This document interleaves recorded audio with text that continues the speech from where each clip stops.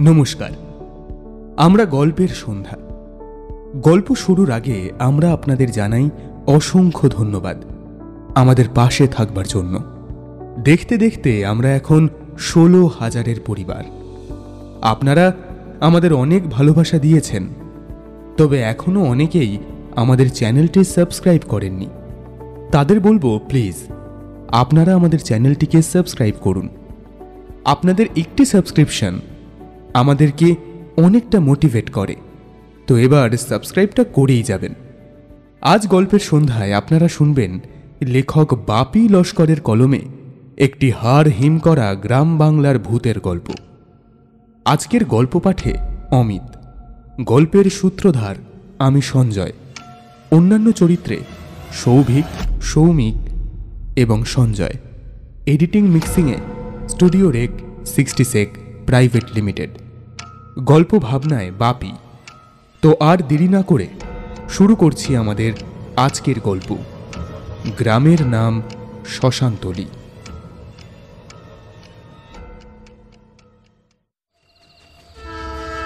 ট্রেনটা আমাকে এই নামবিহীন স্টেশনে নামিয়ে দিয়ে হুস হুস শব্দ করতে করতে চলে গেল। রেখে গেল কালো অন্ধকারের চাদর মুড়ি দিয়ে ঘুমন্ত এই জনবিহীন স্টেশন। আমি কি ভুল জায়গায় এসে পড়লাম? কোনো বোর্ডও চোখে পড়ছে না যে সেখানে নামটা দেখে নেব। আর কোনো মানুষেরও দেখা নেই যে তাকে জিজ্ঞাসা করব। আচ্ছা স্টেশন মাস্টার বলে কি নেই কেউ এখানে? এই সব ভাবতে ভাবতে হাঁটতে লাগলাম সামনের দিকে। ঘড়িতে সময় দেখলাম রাত এগারোটা সাতচল্লিশ মিনিট। এত রাতে গরুর গাড়ি পাবো কিনা কে জানে? মাথায় চিন্তার ভাঁজ নিয়ে সামনের দিকে এগোতে লাগলাম। হঠাৎ দেখি অন্ধকারে সাদা শাড়ি পরিহিতা এক মহিলা পাশের মাঠের উপর দিয়ে হেঁটে যাচ্ছে। আমি চেঁচিয়ে উঠলাম। এই যে শুনছেন? সে আমার কথার কোনো ভ্রুক্ষেপ না করে সামনের দিকে হেঁটে চলল। আমি আবারও তাকে ডাকতে লাগলাম। এই যে শুনছেন? না এবারও কোনো ভ্রুক্ষেপ নেই। আমি ভাবলাম হয়তো আমার ডাক সে শুনতে পায়নি। এটা ভেবে যেই আমি সেদিকে যেতে যাব অমনি একটা গম্ভীর পুরুষ কণ্ঠে ডাক শুনলাম। কোথায় যাচ্ছেন? আমি চমকে ফিরে তাকালাম।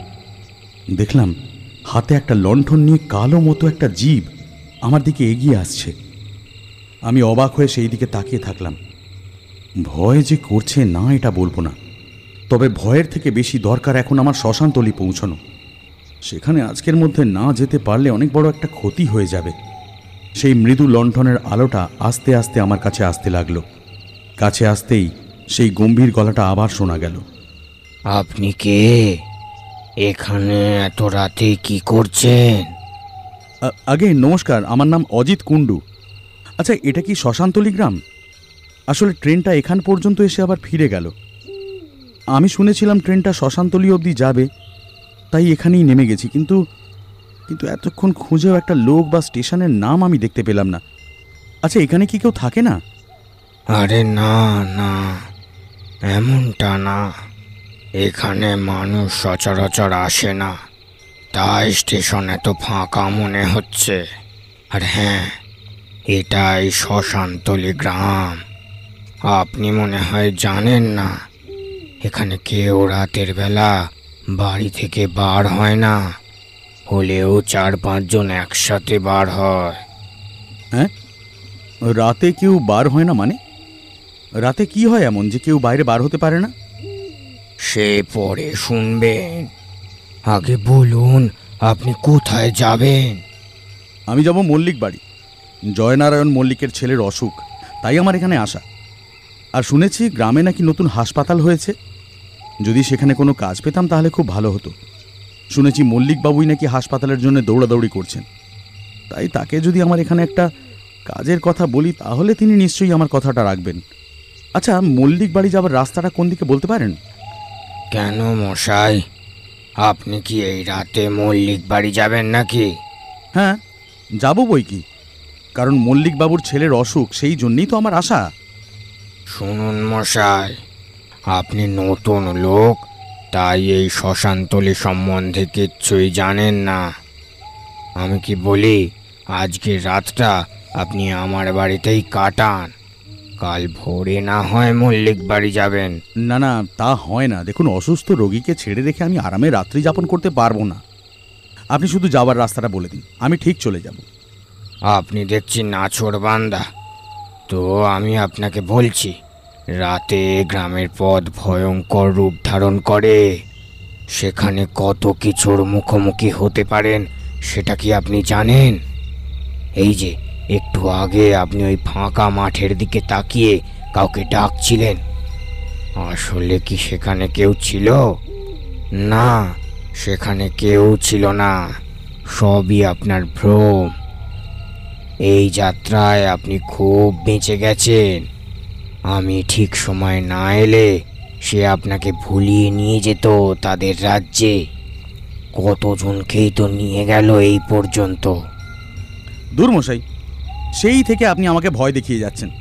আপনি আমাকে মল্লিক বাড়ির রাস্তাটা বলবেন নাকি আমি নিজেই চলে যাব যেদিকে দু চোখ যায়? আপনি তাহলে যাবেনই। ঠিক আছে বলছি।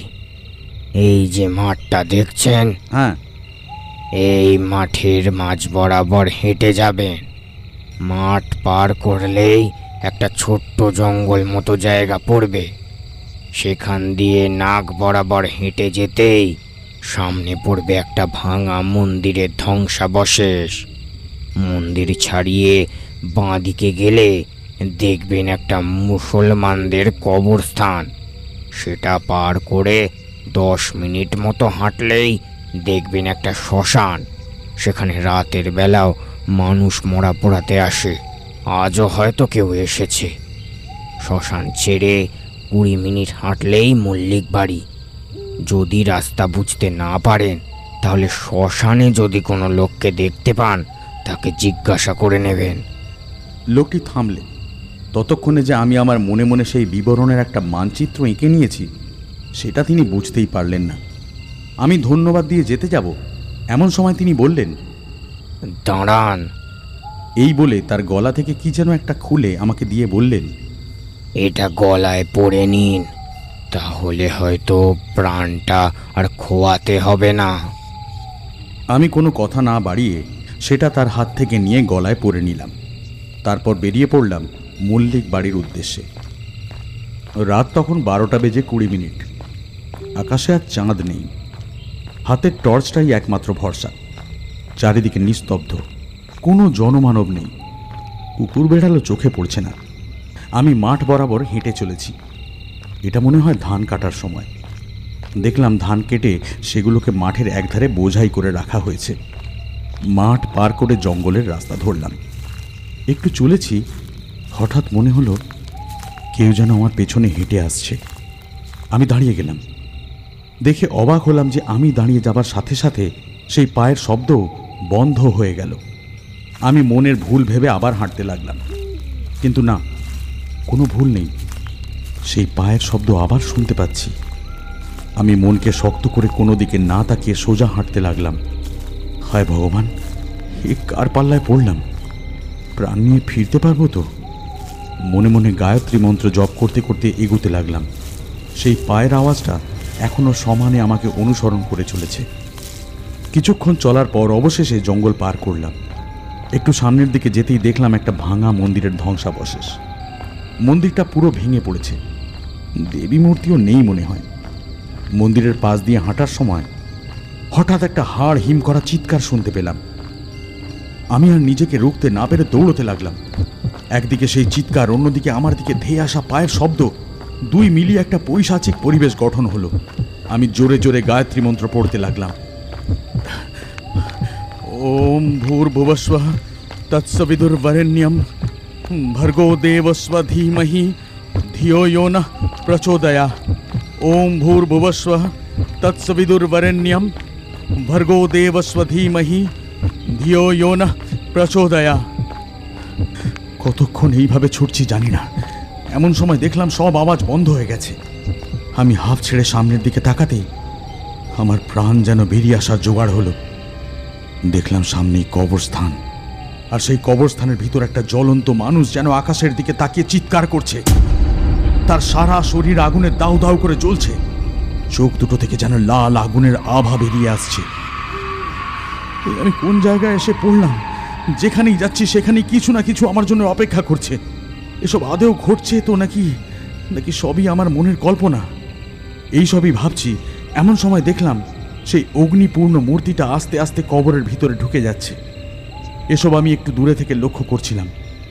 কিছুক্ষণের মধ্যেই আবার চারিদিক নিস্তব্ধ হয়ে গেল। আমি সামনের দিকে হেঁটে চললাম। ঘড়ির রেডিয়াম ডায়ালে দেখলাম রাত বারোটা উনষাট এখন আর কোনো শব্দ নেই। সব যেন জাদু মন্ত্র বলে নিশ্চুপ হয়ে গেছে। আমি টর্চটা দিয়ে দেখলাম সেটা কখন যেন নিভে গেছে। দু একবার চেষ্টা করতে আবার সেটা জ্বলে উঠল। গ্রামের পথ ঝোপঝাড়ে পূর্ণ। চলার পথে পায়ে লতা পাতার আঁচড়ে কেটে গিয়ে সেই জায়গাটা জ্বালা করছে। ওফ কার মুখ দেখে যে আজ উঠেছিলাম কে জানে। ওই লোকটার কথা শুনে আজ রাতটা ওনার বাড়িতে কাটিয়ে দিলে মনে হয় ভালোই হতো। কিছু না হোক এই দুর্ভোগে তো পড়তে হতো না। সামান্য কিছুক্ষণ হেঁটে একটা বট গাছ দেখে সেখানে একটু বসলাম। আমার ডাক্তারি ব্যাগটা খুলে সেখান থেকে একটা ওষুধের শিশি বের করে আনলাম। তারপর সামান্য ওষুধ একটু তুলোতে ডুবিয়ে পায়ের কাটা জায়গাগুলোতে লাগিয়ে দিতে লাগলাম।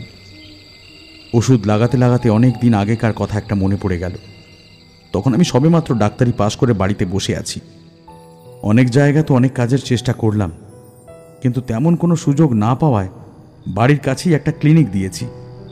এমনই একদিন সন্ধ্যার সময় ক্লিনিকে বসে আছি।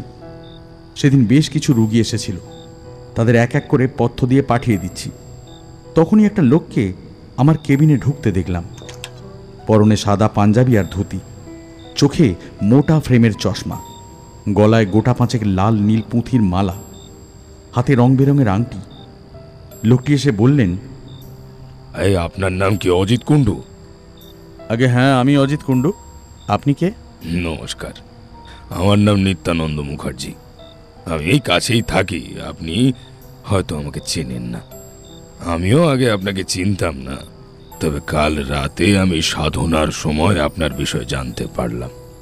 এটা মাঝে মাঝেই আমার সাথে ঘটে। জানি না বললে বিশ্বাস করবেন কিনা, তবে আমি মানুষের ভবিষ্যৎ দেখতে পাই। কাল যখন আপনাকে আমার সাধনার সময় দেখলাম, তখন আপনারও কিছু ভবিষ্যতের পটভূমি আমার চোখের সামনে ভেসে উঠল। লোকটি যে ছিটগ্রস্ত, সেটা আমি ভালোই বুঝতে পারছিলাম।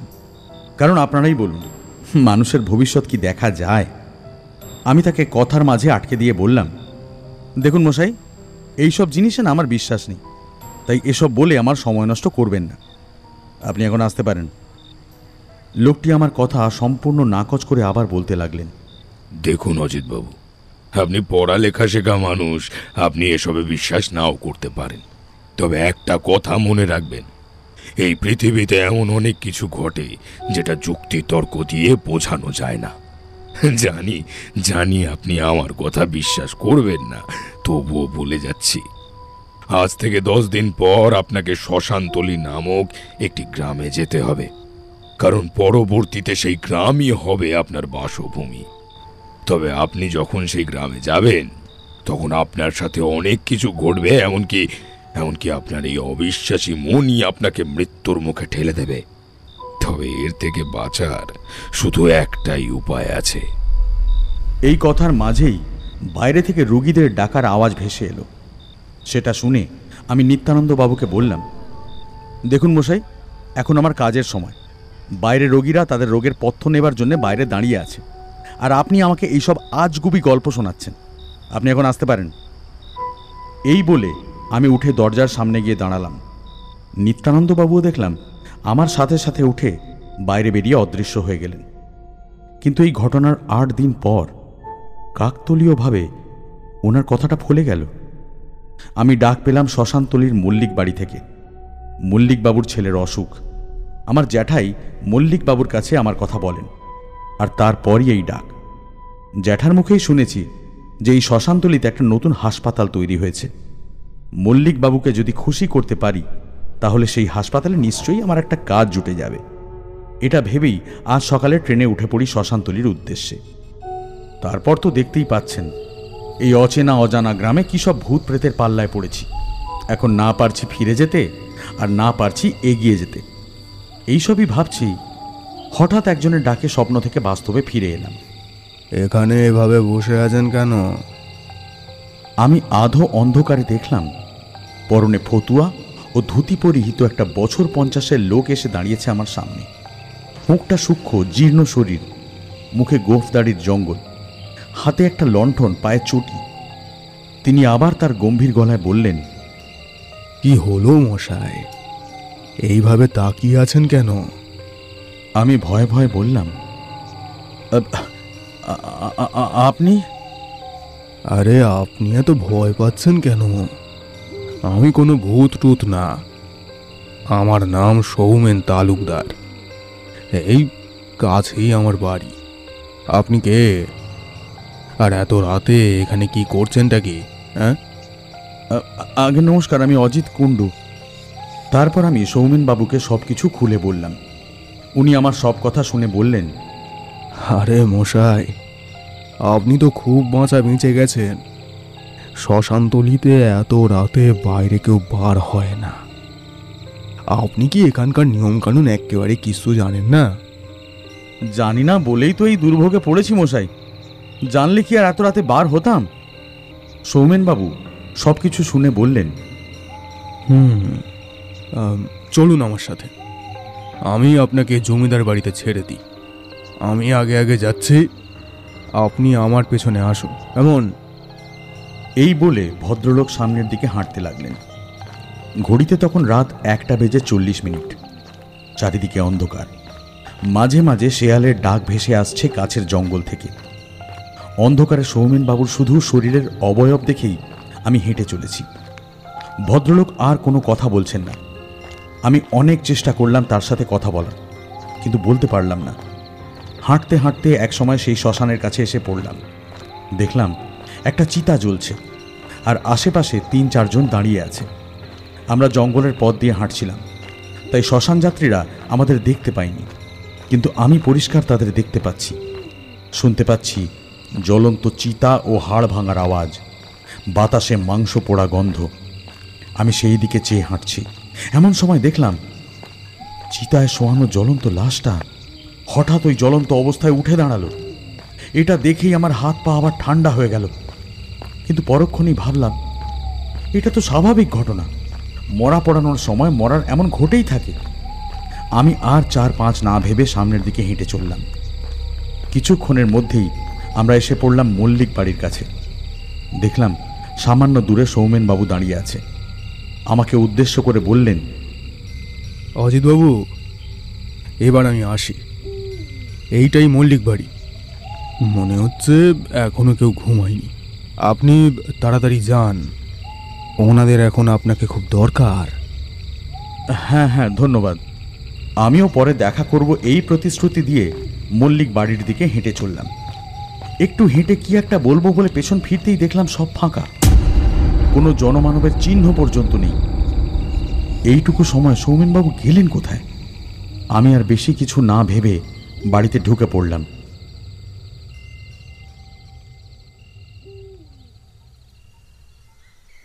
পরদিন যখন ঘুম থেকে উঠলাম দেখি দুপুর একটা বাজে। বাড়ির চাকর মন্টু এসে আমার ঘুমটা ভাঙিয়েছে। আমি ঘুম চোখে জিজ্ঞাসা করলাম কটা বাজে রে? মন্টু হাসি মুখ করে বলল এই তো ডাক্তারবাবু একটা বাজে। হ্যাঁ? এটা শুনে আমি ধরফড় করে উঠে বসলাম। কাল রাতে ঘুমোতে ঘুমোতে ভোর পাঁচটা বেজে গিয়েছিল। তাই আমার ঘুমটা এত দেরিতে ভাঙল। আমি বললাম এই কার্তিক কেমন আছে রে?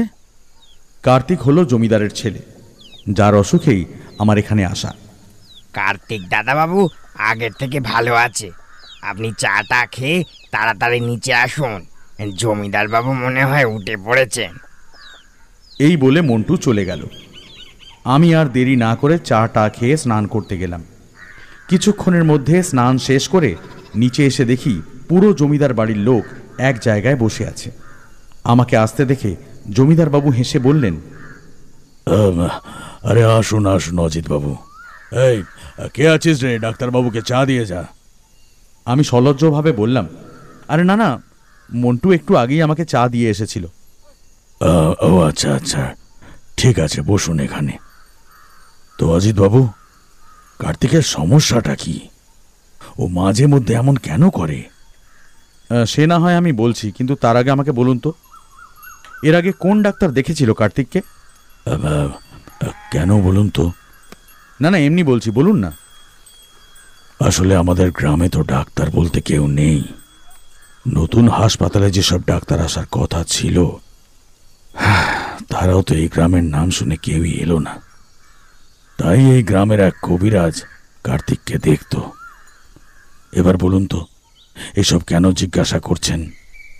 না, আসলে কার্তিকের অসুখ তেমন কিছুই ছিল না। কাল রাতে যখন আমি ওকে দেখলাম, তখন মনে হচ্ছিল বেশ বড় কিছু হয়েছে। কিন্তু ওকে পরীক্ষা করে দেখলাম, সামান্য অসুখ। গ্রামের কবিরাজের কাছে আধুনিক কোনো যন্ত্র নেই, তাই তিনি এটা ধরতে পারেননি। আমি যে ওষুধগুলো লিখে দিয়েছি, সেগুলো ওকে খাওয়ান, কিছুদিনের মধ্যেই ও ঠিক হয়ে যাবে। আমার কথা শুনে মল্লিক মশাই আমার দিকে কি একটা বলতে গিয়েও বললেন না। আমি মল্লিকবাবুকে বললাম, অনেক দেরি হয়ে গেল উঠতে, সন্ধ্যার ট্রেনটা আবার আমাকে ধরতে হবে। আচ্ছা তার আগে একবার কার্তিককে দেখে নি। আমি উঠতে মল্লিকবাবু আমার সঙ্গে গেলেন। কার্তিককে পরীক্ষা করে সব কিছু ঠিক দেখে আমি মল্লিকবাবুকে বললাম, চিন্তার কিছু নেই সব কিছু ঠিক আছে। এই বলে আমি বেরিয়ে এলাম কার্তিকের ঘর থেকে। বাইরে এসে বসতেই দুপুরের খাবার ডাক পড়ল। খেতে বসেছি। আমার সঙ্গে বসেছে মল্লিক মশাই ও তার দুই ভাই। খেতে খেতে হঠাৎ মল্লিকবাবু বললেন আচ্ছা অজিত বাবু আপনি কি শহরে কোনো হাসপাতালের সঙ্গে যুক্ত আছেন? কেন বলুন তো? না আমি বলছিলাম কি আপনি যদি এই গ্রামের হাসপাতালের ভারটা নিজের কাঁধে নেন তাহলে তো খুব ভালোই হয়। আমার মনের কথাটা আর বলতে হলো না। মল্লিকবাবু নিজে থেকেই কথাটা বলে দিলেন। আমি হুট করে রাজি হলাম না। শুধু বললাম, আমি তো এখানের কিছুই চিনি না। আর হাসপাতাল তো সবে তৈরি হয়েছে শুনলাম। যন্ত্রপাতি আনতে হবে, আর বেশ কিছু লোকও লাগবে। আমার কথা শুনে তিনি মনে সাহস পেয়ে বললেন, আরে বলেন কি মশাই, হাসপাতাল পুরো তৈরি আছে। আর বাকি রইল যন্ত্রপাতি ও কর্মচারী। সেগুলোও পেয়ে যাবেন। আর আপনার থাকা খাওয়া না হয় এই মল্লিক বাড়িতেই হবে। আপনি রাজি আছেন কি না বলুন। দেখুন মল্লিকবাবু গ্রামের এই অবস্থা দেখে আমি এই কাজ করতে রাজি আছি।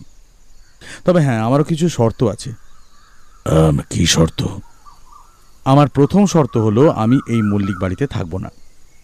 হাসপাতালের আশেপাশে আমার থাকার ব্যবস্থা করে দিতে হবে।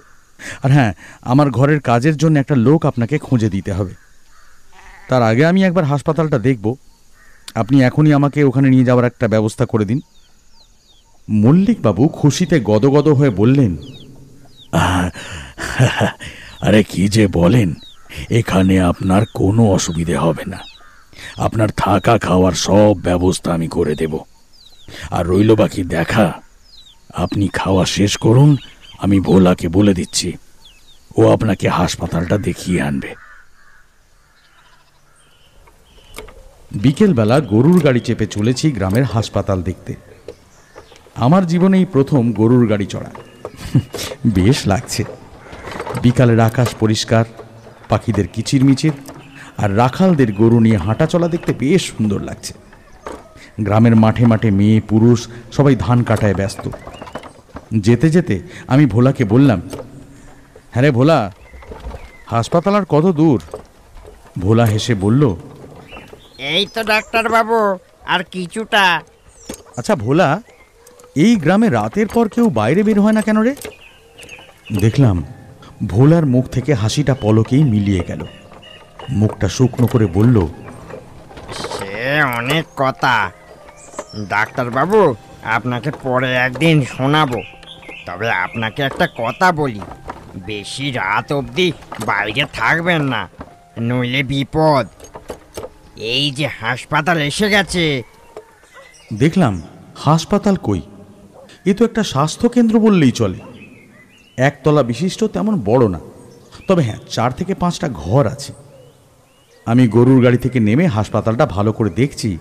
এমন সময় দুজন লোক এসে আমাকে নমস্কার করে বলল আর নমস্কার আমি তারাপদ মুখুজ্জি আর ইনি সন্দীপ হালদার।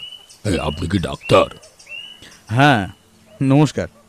আমি অজিত কুণ্ডু কলকাতা থেকে আসছি। এখানেই থাকব। মল্লিকবাবু আমাকে নিয়ে এসেছেন। আমার কথা শুনে তারা বললেন খুব ভালো। কবে থেকে হাসপাতাল হয়ে পড়ে আছে কিন্তু কেউ এখানে আসতে চায় না। আপনি এসেছেন শুনে দৌড়ে এলাম আপনাকে দেখতে। এখানে আপনার কোনো অসুবিধা হবে না। আমরা তো আছি। এই এই তা আপনি থাকছেন কোথায়? মল্লিক বাড়ি আরে না না। ওখানে আমি থাকব না। আমি মল্লিকবাবুকে বলেছি এইখানেই কোথাও ব্যবস্থা করে দিতে। ভালো ভালো। আপনি কাজ করুন বাকি আমরা তো রয়েছি। হ্যাঁ আপনার এখানে কোনো অসুবিধা হবে না হ্যাঁ। এরপর কেটে গেছে বেশ কিছুদিন। গ্রামের হাসপাতালের রূপ আমি বদলে দিয়েছি। মল্লিকবাবু হাসপাতালের কর্মচারী আশপাশের গ্রাম থেকে নিয়ে এসেছেন। আর আমি কলকাতা গিয়ে সেখান থেকে ওষুধের ব্যবস্থা করে এসেছি। প্রতি পনেরো দিন পর কলকাতা থেকে লোক আসবে ওষুধ নিয়ে। হাসপাতালটা সরকার করে দিলেও এটা কিন্তু মল্লিকবাবুই চালাতেন। আর হ্যাঁ তারাপদবাবু আর সন্দীপবাবুর সাথে আমার একটা ভালো সম্পর্ক গড়ে উঠেছে। তাদের জন্যই একটা ভালো ঘর আমি পেয়েছি। ঘরটা গ্রামের একটু ভেতরে হলেও আমার কোনো অসুবিধে হচ্ছে না। প্রতিদিন কাজ শেষে গ্রামের এক চায়ের দোকানে আমরা আড্ডা দিই। সেখানে কত না কথা হয়, দেশ বিদেশ, রাজনীতি, মাঝে মাঝে ভূতের প্রসঙ্গও এসে পড়ে। এমনই একদিন চায়ের দোকানে বসে আছি।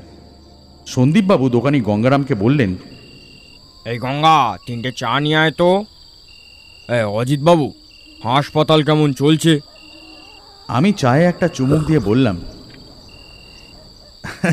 আর বলবেন না মশাই যেসব যন্ত্রপাতি হাসপাতালে আছে সেগুলো অনেক কম। মানে আমি বলছিলাম যে রুগীর সংখ্যা এত যে একটা কাজ করে অপরটা করতে বেশ সময় লেগে যাচ্ছে। যদি কিছু যন্ত্রপাতি বাড়ানো যায় তাহলে অনেক সময়ও বাঁচবে আর মানুষকে বেশি হয়রানিও হতে হবে না। এ নিয়ে মল্লিকবাবুকে বলেছি, তিনি এদিকটা দেখবেন বলেছেন। কিন্তু কবে হবে সেই আশায় তো আর বসে থাকা যায় না। ভাবছি এই মাসে একবার শহরে গিয়ে দেখে আসি। মল্লিকবাবুকে বলব। তারপর না হয় দেখা যাবে উনি কি করবেন। আচ্ছা এই গ্রামে কোনো ডাক্তার আসে না কেন? সেদিনও আপনারা বলেছিলেন যে হাসপাতাল হয়ে পড়েছিল, কিন্তু কোনো ডাক্তার ছিল না। তারাপদবাবু বললেন না, তেমন কিছু না। আসলে গ্রামের হাসপাতাল তো, তাই কেউ আসতে চায় না, বুঝতেই তো পারছেন। মানুষ এখন অর্থটাকেই বেশি প্রাধান্য দেয় হ্যাঁ। গ্রামে তেমন অর্থ নেই, তাই এখানে এসে কেন তারা নিজেদের সময় নষ্ট করবে বলুন তো? কিন্তু কিছু মানুষ থাকে, বুঝলেন হ্যাঁ কিছু মানুষ থাকে আপনার মতো, যারা মানুষের স্বার্থে কাজ করে। তাদের কাছে মনুষ্যত্বই ধর্ম। তারাপদবাবুর কথা শুনে আমার মনটা গর্বে ভরে গেল। তারপর এই কথা সেই কথা থেকে উঠে এলো যে এই গ্রামের নাম শ্মশানতলি কেন? সন্দীপবাবু বললেন এই গ্রামের নাম শ্মশানতলি কেন জানেন? আমি কি করে জানব সেটা তো আপনারাই বলবেন। সন্দীপবাবু তারাপদবাবুর দিকে কিছুক্ষণ চেয়ে থেকে বলতে শুরু করলেন এই ঘটনাটি আমি আমার বাবার মুখে শুনেছিলাম। সে অনেক দিন আগেকার কথা। আজ থেকে প্রায় একশো বছর আগেকার কথা। তখন এই গ্রামের নাম শ্মশানতলি ছিল না। বলতে পারেন, এখনকার এই গ্রামের সাথে আরও কিছু গ্রাম নিয়ে ছিল আমাদের গ্রাম বকুলপুর। গ্রামটা এতটাই বড় ছিল যে পুরো গ্রামটা একবার ঘুরতে বেশ কয়েকদিন সময় লেগে যেত। তখনকার মোড়ল ছিলেন বিষম্ভর চাটুর্যে। তিনি ছিলেন খুবই অহংকারী। গরিবদের তিনি দেখতে পারতেন না। তার জমি জমা যা ছিল, সে নিয়ে তিনি খুশি থাকতে পারতেন। কিন্তু না, তার ছিল খুব সম্পত্তির লোভ। তখন এই গ্রামের মধ্যে সব জাতের মানুষের বসবাস ছিল। এখান থেকে কিছু দূর গেলেই পড়বে মুসলমানদের এলাকা আর অপর দিকে বাগদি মাঝিদের এলাকা। তারা ধর্মে হিন্দু হলেও ছোট জাত বলে বিশম্বরবাবু তাদের দেখতে পারতেন না। কিন্তু মানুষরা তাকে খুব মান্যি করত। এটা ভয়ে কি ভালোবাসায় এটা বলতে পারব না। তো এমনই একদিন বিশম্বরবাবু উঠোনে বসে তামাক খাচ্ছেন। এমন সময় এক কাপালিক তার সামনে এসে বলল, জয় কালী জয় কালী। বিশম্বর বাবুর একটু আধটু তন্ত্রতে বিশ্বাস ছিল। তান্ত্রিক সন্ন্যাসী দেখলেই তাদের বাড়িতে এনে রাখতেন, তাই কাপালিককে দেখেই তার মুখ প্রসন্ন হয়ে উঠল। তিনি তখনই সেই কাপালিককে বাড়িতে একটা ঘরে নিয়ে গিয়ে বেশ কিছুদিন তার সেবা করলেন। যাবার সময় কাপালিক তাকে বলল, বল হে বিশম্বর কি চাই তোর? বাবু কিছুক্ষণ ভেবে বললেন, ঠাকুর, আগে আমাদের পরিবার খুব বড় ছিল। সাত গ্রামের লোক এক ডাকেই আমাদের চিনত। কিন্তু এখন আমাদের অবস্থা খুবই খারাপের দিকে যাচ্ছে। আমি মারা গেলেই এই পরিবারের হাল ধরে রাখার মতো কেউ থাকবে না। আমার একমাত্র ছেলের মাথায় একটু দোষ আছে। অপরদিকে আমার সম্পত্তির পরিমাণ দিন দিন কমে আসছে। আপনি যদি আমার সেবায় সন্তুষ্ট হয়ে থাকেন। তো দয়া করে আমাকে এর থেকে নিস্তার পাওয়ার পথ বলে দিন প্রভু। কাপালিক কিছুক্ষণ ভাবল তারপর বলল এত সহজে কি এত কিছু পাওয়া যায়? এর জন্য অনেক কষ্ট করতে হবে যে। সে যত কষ্টই হোক আপনি আমাকে সেই পথ দেখিয়ে দিন। তবে শোন এরপর কাপালিক তাকে কিছু গুপ্ত মন্ত্র ও সাধনা বলে দিলেন। মোট দুটি সাধনার কথা বললেন, যেটা করলে একদিকে তার ছেলে সুস্থ হবে, অপরদিকে তার সম্পত্তি বৃদ্ধি পাবে। এর কিছুদিন পর থেকে প্রথমে বাগদিপাড়া থেকে অপ্রত্যাশিতভাবে মানুষ মরতে শুরু করল। তিন মাসে মোট একশোটার ওপর মানুষ অজানা কিছুর আতঙ্কে মরল। তখন সেই পাড়ার পাশ দিয়ে যাবার সময় মনে হতো কোনো শ্মশানের পাশ দিয়ে যাচ্ছি। সন্ধ্যার পর শেয়াল কুকুর বাগদিপাড়া মাতিয়ে বেড়াতো। কিন্তু আমাদের এই দিকটা তখন সম্পূর্ণ ভালো ছিল। এখানে তেমন কিছু ঘটেনি। এমনই এক সকালবেলা দেখা গেল পুরো বাগদিপাড়া ফাঁকা। তারা যেন হঠাৎ করেই উধাও হয়ে গেছে। এদিকে বিশ্বম্বর বাবুর প্রতিপত্তি দিন দিন বেড়েই চলেছে। গ্রামের বেশিরভাগ মানুষের সন্দেহ ছিল যে এই মৃত্যুগুলোর পেছনে নিশ্চয়ই বিশ্বম্ভরের হাত আছে। এমনিতেই গ্রামের মানুষ বিশ্বম্ভরকে দেখতে পারত না। তখন থেকে আজ রাতের বেলা কেউ বাগদি পাড়ায় পথ মারাতো না। শোনা যায়, আজও নাকি রাতের বেলা ওই দিক দিয়ে আসলে কেউ যেন পেছন পেছন আসে আর মাঝে মধ্যে চিৎকার করে ওঠে। বিশ্বম্বরের প্রতিপত্তি তো হলো, কিন্তু সেগুলো ভোগ করার মতো কেউ ছিল না। তার একমাত্র ছেলে তখনও পাগল, তার মানসিক অবস্থার তখনও কোনো পরিবর্তন হয়নি। এরপর বিশ্বম্বর তার দ্বিতীয় সাধনায় বসলেন, কিন্তু এই সাধনা তাকে সেই জায়গায় করতে হবে যেখানকার মানুষদের সে বলি দিতে চায়। তাই সে মুসলমানদের এলাকাটা বেছে নেয় এই সাধনার জন্য। প্রথম প্রথম কেউ জানতে পারেনি। কিন্তু যখন মানুষ মরার পরিমাণ বাড়তে লাগল তখন পুরো গ্রাম এক হয়ে গেল। ততদিনে মানুষ বুঝে গেছে যে এগুলো কে করছে। সন্দীপবাবু গল্পের মাঝে চুপ হয়ে গেলেন। ততক্ষণে গল্প একদম জমে উঠেছে।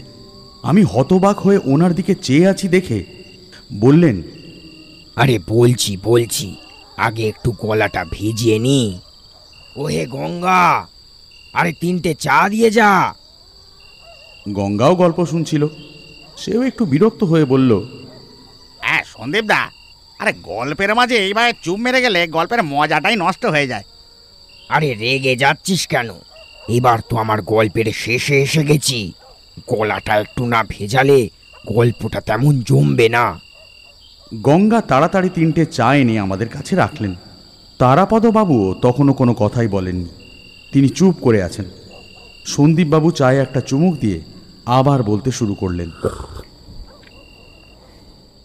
ততদিনে পুরো গ্রাম বিশ্বম্ভরকে সন্দেহের চোখে দেখছে। তার প্রতি পদক্ষেপের দিকে সকলের লক্ষ্য রয়েছে। সেদিনটা ছিল অমাবস্যা। সকাল থেকে গ্রামের বেশ কিছু মানুষ লক্ষ্য করছে বিশ্বম্ভরকে আজ তাকে যেন একটু বেশি বিচলিত দেখাচ্ছে। সকাল থেকে কিছু একটা তোড়জোড় করছে। কাছে গিয়ে জিজ্ঞাসা করলে গালমন্দ করে তাকে তাড়িয়ে দিচ্ছে। এমনি করে সকাল থেকে দুপুর করালো তারপর পাশের মুসলমান এলাকার দুজন লোক এলো আমাদের এলাকার কয়েকজনের কাছে। তারা তাদের নিয়ে বাড়ির ভিতরে ঢুকে কী সব কথা বলল। তারপর সন্ধ্যার আগে তারা দুজনে বেরিয়ে তাদের এলাকায় চলে গেল। সেদিন ছিল অমাবস্যা। আকাশে চাঁদ নেই, তাই আলো বলতে তেমন কিছুই ছিল না।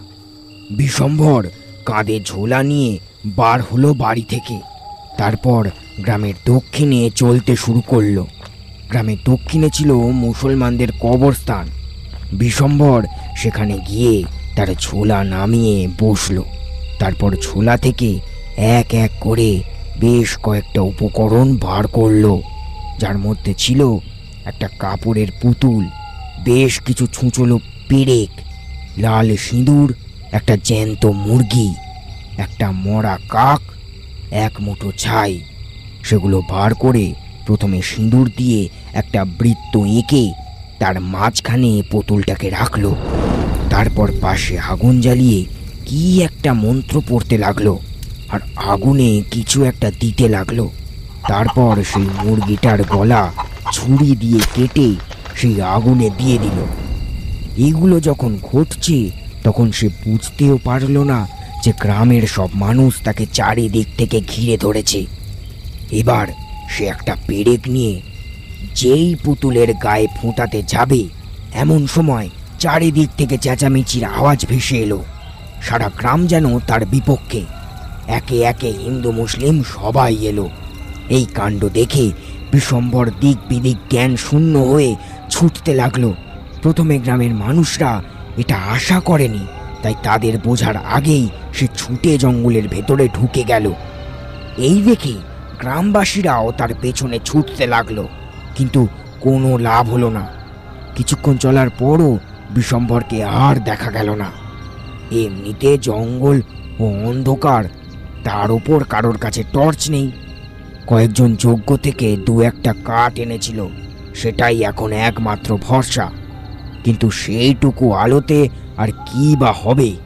অনেকক্ষণ খোঁজার পর যখন বিশম্ভরের কোনো খোঁজ পাওয়া গেল না, তখন গ্রামবাসীরা ফেরার পথ ধরবে এমন সময় জঙ্গলের অপর প্রান্তে জ্বলে উঠল শয়ে শয়ে মশাল। এই আলো ধীরে ধীরে কাছে আসতে লাগল। কিছুক্ষণের মধ্যে মধ্যে দেখা গেল শ দুয়েক লোক একটা মানুষকে টানতে টানতে নিয়ে আসছে। এতক্ষণে গ্রামবাসীরা বুঝে গেছে তারা কাকে নিয়ে আসছে। সেই রাতেই বিশম্বরকে মেরে তার দেহকে ওই জঙ্গলে পুঁতে গ্রামবাসীরা বাড়ি ফিরে আসে। তার কিছুদিন পর থেকে সব কিছু ঠিক হতে শুরু করল। যারা গ্রাম ছেড়েছিল, তারা আবার গ্রামে এসে বসবাস শুরু করল। একদিন শোনা গেল গ্রামের সেই জঙ্গলে একজন সন্ন্যাসী বাসা বেঁধেছে। শোনা যেতে লাগল, তার নাকি মায়াবী শক্তি আছে। মানুষের মুখ দেখে তার ভূত ভবিষ্যৎ বলে দেন। একদিন গ্রামের বেশ কিছু মাতব্বর জাতীয় লোক তার কাছে গেল। তখন সন্ন্যাসী তাদের বলেছিলেন যে, এই গ্রাম নাকি ভাগ হয়ে যাবে।